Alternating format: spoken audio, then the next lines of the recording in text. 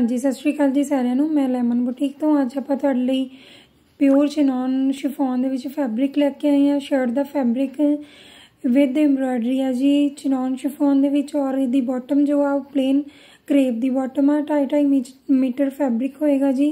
2500 ਰੁਪਏ ਇਹਦਾ ਪ੍ਰਾਈਸ ਹੈ ਜੀ ਫ੍ਰੀ ਸ਼ਿਪਿੰਗ ਨੈਕਸਟ ਆਪਣੇ ਕੋਲ ਜਿਹੜਾ ਫੈਬਰਿਕ ਹੈ ਇਹ ਆਪਣੇ ਕੋਲ ਡਿਜੀਟਲ ਪਿਓਰ ਕਰੇਪ ਦਾ ਫੈਬਰਿਕ ਹੈ ਜੀ ਡਿਜੀਟਲ ਪ੍ਰਿੰਟ ਦੇ ਵਿੱਚ।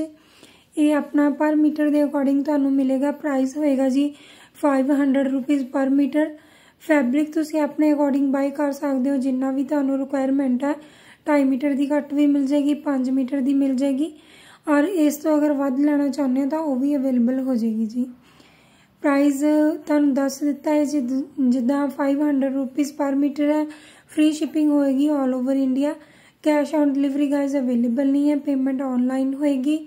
ਇਹਨਾਂ ਵਿੱਚੋਂ ਜੋ ਵੀ ਕਲਰ ਡਿਜ਼ਾਈਨ ਤੁਹਾਨੂੰ ਪਸੰਦ ਆ ਰਿਹਾ, ਤੁਸੀਂ ਉਹਦਾ ਸਕਰੀਨਸ਼ਾਟ ਲੈ ਕੇ ਮੈਨੂੰ ਨੀਚੇ ਦਿੱਤੇ ਗਏ ਨੰਬਰ ਤੇ WhatsApp ਕਰ ਸਕਦੇ ਹੋ ਔਰ ਆਪਣਾ ਆਰਡਰ ਪਲੇਸ ਕਰ ਸਕਦੇ ਹੋ ਜੀ। ਨੈਕਸਟ ਵੀਡੀਓ ਲੈ ਕੇ ਆਪਾਂ ਜਲਦੀ ਆਵਾਂਗੇ ਜੀ। ਤਦ ਤੱਕ ਦੇ ਲਈ ਸਾਰਿਆਂ ਦਾ ਬਹੁਤ ਧੰਨਵਾਦ। ਥੈਂਕ ਯੂ ਜੀ।